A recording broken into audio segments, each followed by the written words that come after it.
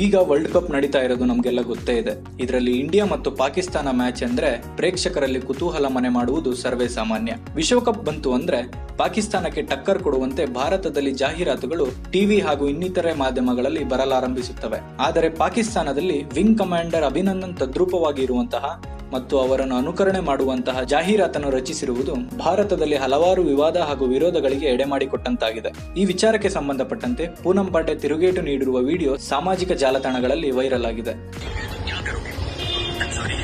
I'm not supposed to tell you that, sir. Hmm. Playing 11 में कौन कौन होगा? I'm sorry. I'm not supposed to tell you this. Okay. How is the team? He is fantastic. अच्छा चलो okay sir एक second को कब कहाँ लेके जा रहे हैं I saw this Pakistani ad yesterday on my WhatsApp where they're making fun of our war hero. Dear Pakistan, that is not cool. And this is my answer to your ad. Why settle for a teacup? Well, you can actually have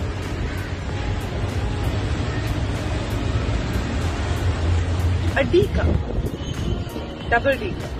आप इसमें चाय भी P सकते हैं